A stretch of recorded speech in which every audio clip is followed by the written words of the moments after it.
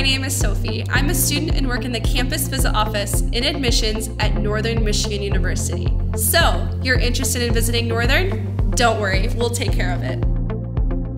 The campus visit office at NMU is truly the gateway to the university and is so much more than just your average college tour.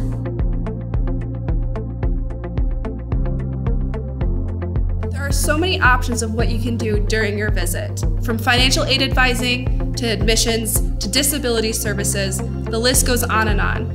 But what truly sets Northern apart is the academic appointment. You get the opportunity to meet with staff and faculty in your field and get to tour labs and classrooms. You'll be able to see how Northern can support you in your career aspirations. It doesn't get much better than that. And of course, you'll have to take a campus tour to see our beautiful campus and where you'll be living.